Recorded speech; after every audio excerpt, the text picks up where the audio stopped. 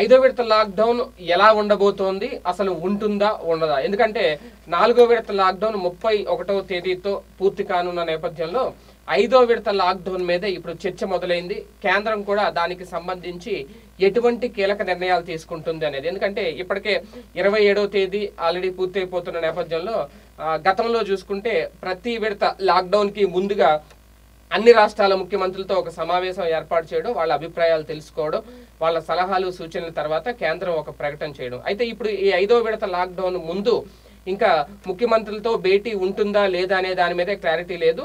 కేంద్రం నుంచి కూడా ఎటువంటి అధికారిక ప్రకటన విడుదల కాలేదు. అంటే ఈసారి ఐదో విడత లాక్డౌన్కి సంబంధించి అసలు కేంద్రం జోక్యం చేసుకోదా?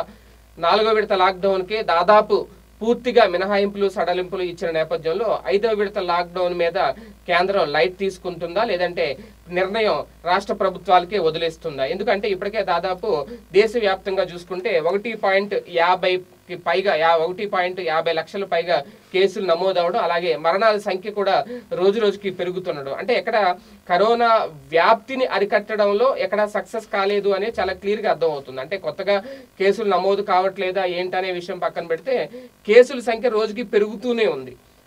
కొత్త కొత్తగా అంటే కరోనా వ్యాప్తి చాలా ప్రాంతాల్లో ఆంధ్రప్రదేశ్లో చూసుకుంటే చాలా ప్రాంతాల్లో కరోనా కేసుల సంఖ్య రోజు రోజుకి పెరగడం ఈ మహమ్మారి విజృంభణ. ఒక రకంగా దాంతో సహవాసం చేసుకుంటూ పోవాలని చెప్పి రాష్ట్ర ప్రభుత్వాలు ప్రజలు సైతం ఫిక్స్ అయినా సరే మరణాల రేటు ఎప్పుడైతే కంట్రోల్లో ఉందో పర్వాలేదు కానీ ఒకవేళ మరణాల డెత్ రేట్ కనుక పెరుగుతూ పోతే కనుక ప్రజా జీవనానికి చాలా ఇబ్బందులు కలిగే అవకాశం ఉంటుంది కాబట్టి ఐదో విడత లాక్డౌన్ విషయంలో కేంద్రం ఎటువంటి నిర్ణయం తీసుకుంటుంది అనే ఉత్కంఠ అయితే ఇంకా కొనసాగుతుంది.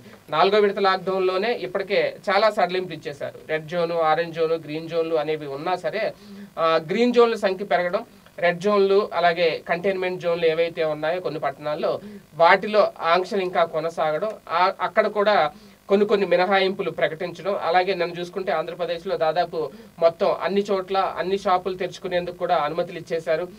తోపుడు బళ్ళు వ్యాపారులకు కూడా అనుమతులు ఇచ్చేశారు. అంటే పూర్తిగా కొన్ని కొన్ని ఆంక్షలు ఇంకా కొనసాగుతున్నాయి. పానీపూరి బళ్ళు లేదంటే రెస్టారెంట్ల దగ్గర కొన్ని కొన్ని ఇప్పుడు ఏవైతే ఉన్నాయో అక్కడ ఓన్లీ టేకేవేలు మాత్రమే పనిచేయాలి పార్సిల్స్ మాత్రమే ఇవ్వాలి అని చెప్పడం ఇలా కొన్ని కొన్ని ఆంక్షలు అయితే కంటిన్యూ అవుతున్నాయి. కానీ రేపటి నుంచి ఆల్రెడీ ఇప్పటికే విమాన ప్రయాణాలు మొదలైపోయాయి. ఒకటో తేదీ నుంచి రైల్వే సర్వీసులు కూడా ప్రారంభం కాబోతున్నాయి.